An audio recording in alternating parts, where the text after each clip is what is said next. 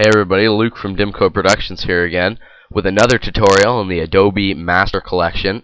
This time with Adobe Premiere Pro CS3, I'll be teaching you how to do a green screen, a blue screen, or a color keying effect.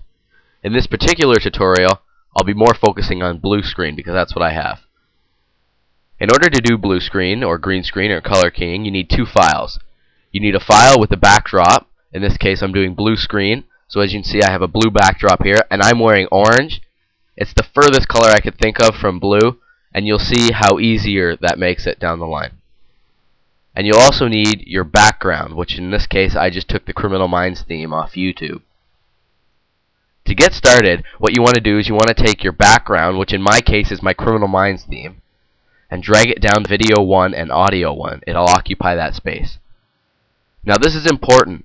If you took your video off YouTube, and only if you took your video off YouTube, you'll notice that the video is much smaller than the frame up here. In order to get it full screen, right click on your video 1 file here and select scale to frame size and that will make it bigger and that's only if you took your video off YouTube.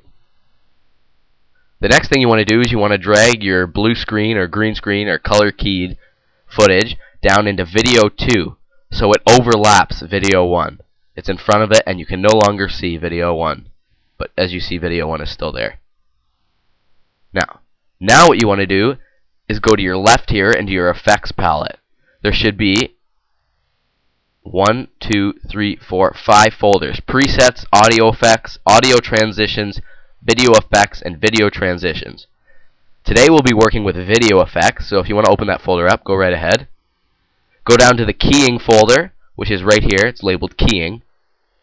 And if you have any other color than uh, blue screen, say green or black or whatnot, select color key and drag it on to the video 2.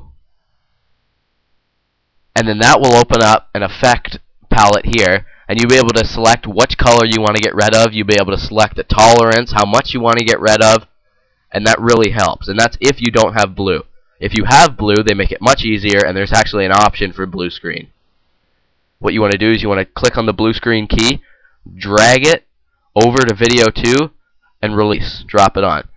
As you see up here, you can no longer see the blue screen in the background. All you can see is me and the Criminal Minds theme. Now, to jazz it up a bit, we can come up here, right above your, uh, right up on top here. This will open up the effect controls for the blue screen. So as you can see here, you have video effects and audio effects for the blue screen go down to the option that says blue screen key right here and open that up. You'll see here it gives you threshold percentages, cutoff percentages.